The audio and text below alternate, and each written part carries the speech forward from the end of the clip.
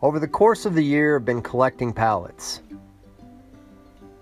I built a pallet shed out of these pallets and still had plenty to spare. Collected sand from the wash as well as rocks, loaded them into the truck. Taken them back and sifted with a screen to make a fine sand to mix for stucco and plaster collected rainwater and filtered it to make the water usable for plaster mixes and stucco. Built our own earth bag structure out of sandbags and even put this retaining wall up using stones from the property and mixed our own mortar mix.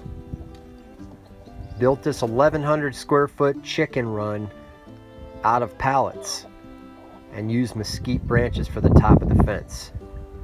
Put together our own solar array. Had no idea what we were doing, but we figured it out.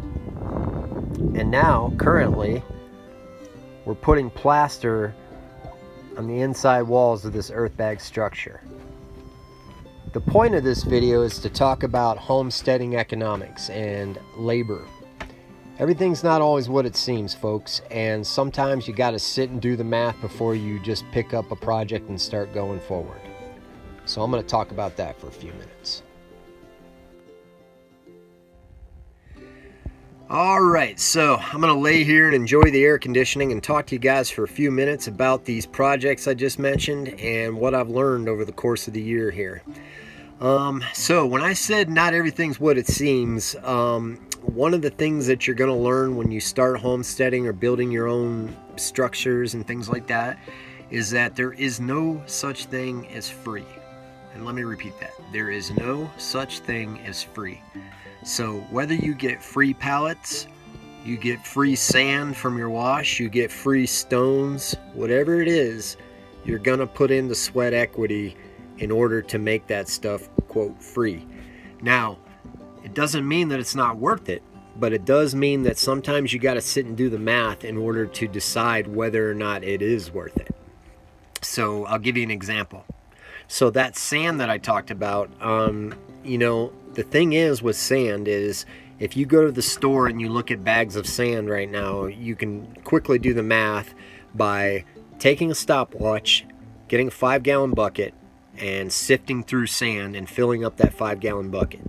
And once you fill up that bucket, you hit the stopwatch and you look at the time and you go, okay, that took me 30 minutes, you know, to fill up that, that bucket. I don't remember the time, honestly, but anyways, then I'm going to go take a look at a bag of sand and I'm going to say, okay, how much is this bag of sand? And is it worth it for me just to buy bags of sand and just, you know, just get it over with and just pay the cost up front so I don't have to sit and sift through all this sand? Well, right now the answer is no. Um, I actually save plenty of money by doing this myself, even if I were to pay myself to sift through that sand and that is mostly the the math that I do out here. It's not complicated math. I'm not teaching you guys how to save for your 401k. Trust me, I'm not the guy. Um, but what I will say is that when it comes to doing projects by yourself, DIY, which I can honestly say I've got tons of experience in that. Um, sometimes these projects turn around, they bite me in the, in the ass, and you know I look back and say, "Man, never again am I doing that." Um, I'll give you an example, something I would not do again. Um, when I first came out here, we dug the um, perimeter for that earth bag structure and we dug down about three feet deep and did it with a shovel, a pickaxe, and then eventually a jackhammer. And what I will tell you is never again.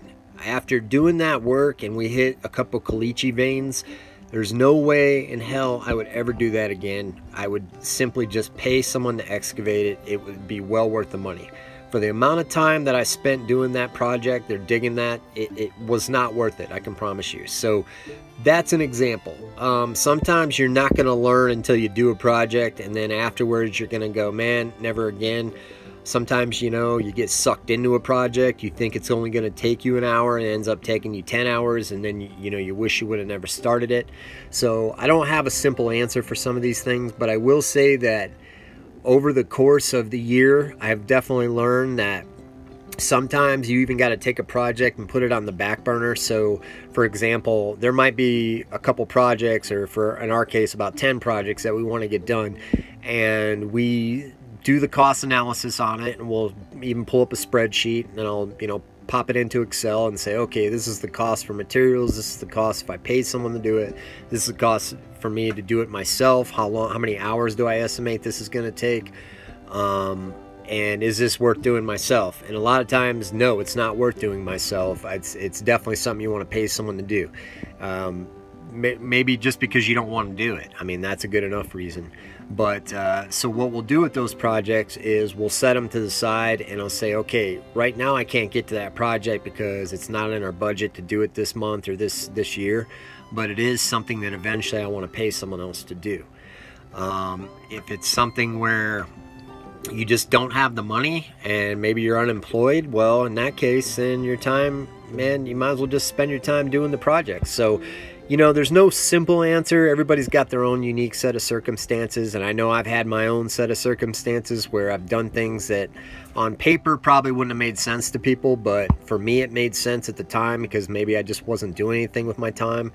Um, one thing I'll say is that because building materials have went up so much, your sweat equity is worth way more than it used to be. So now it's it's well worth the time for me to spend the time to collect pallets, and it's well worth the time for me to make my own mortar, uh, my own concrete. Because you know, if I look at the cost of these things now versus a year ago or a year and a half ago, you know, a lot of times it's a no-brainer. So anyways, I'm going to get back to work, but I hope this helps a few people. And if you haven't liked and subscribed, please do. I'm still coming out with that plaster video. It's just taking a little longer than I thought it was going to take. So this is Dwayne, over and out.